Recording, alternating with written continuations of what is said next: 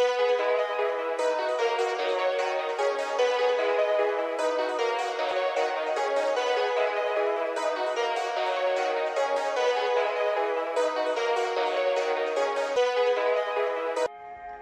tal? Bienvenidos de nueva cuenta.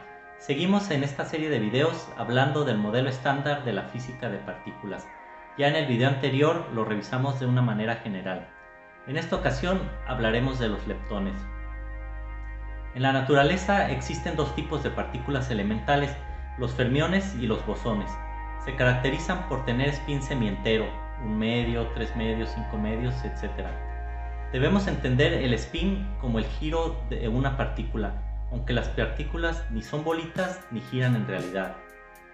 Tenemos dos tipos de fermiones, los leptones y los quarks. Con ellos se construye la materia que observamos en el universo. Los leptones son un tipo de partícula que está definida por su spin un medio. También cuenta con tres generaciones de partículas y son de dos tipos, neutrinos y electrones. Algunas de sus características son que no interactúan con la fuerza fuerte, solamente con el electromagnetismo y con la fuerza débil.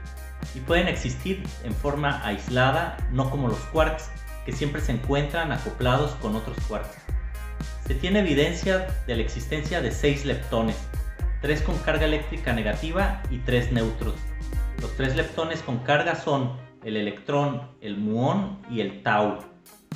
Los tres leptones neutros son los neutrinos y cada uno está asociado a un leptón cargado. El neutrón electrónico, el neutrón muónico y el neutrón tauónico. Con respecto a la antimateria, cada uno tiene su contraparte, pero con carga eléctrica positiva. La antipartícula del electrón es el positrón y fue la primera partícula de antimateria descubierta. Los muones y los tauones son versiones más pesadas del electrón y son muy inestables por lo que su tiempo de vida es demasiado corto.